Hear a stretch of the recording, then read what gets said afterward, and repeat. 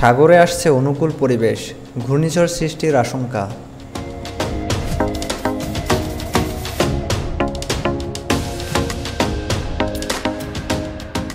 বঙ্গোপসাগর ধীরে ধীরে অনুকূল হচ্ছে। আবহাওয়া মডেলগুলো সাগরের সিস্টেম তৈরির সম্ভাবনা পেয়েছে।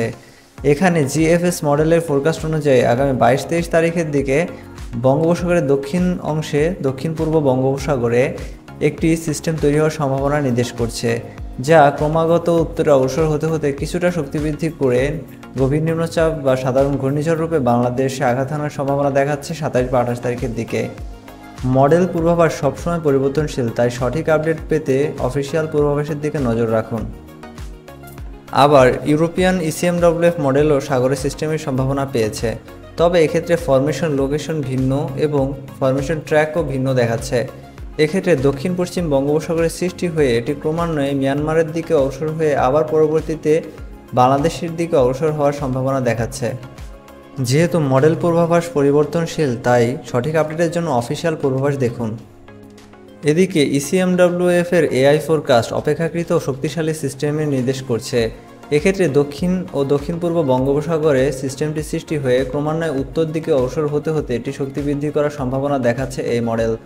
এক্ষেত্রে এই মডেল সিস্টেমটির বেশ শক্তিশালী হওয়ার সম্ভাবনাকে নির্দেশ করছে। বিশেষ করে সিস্টেমটি যখন ভারতের পূর্ব অংশের দিকে আঘাত করতে যাবে এরকম সময়ে।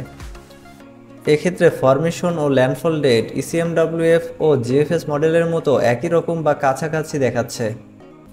এবার আসি বিডব্লিউওটি এর অ্যানালাইসিস কি বলছে?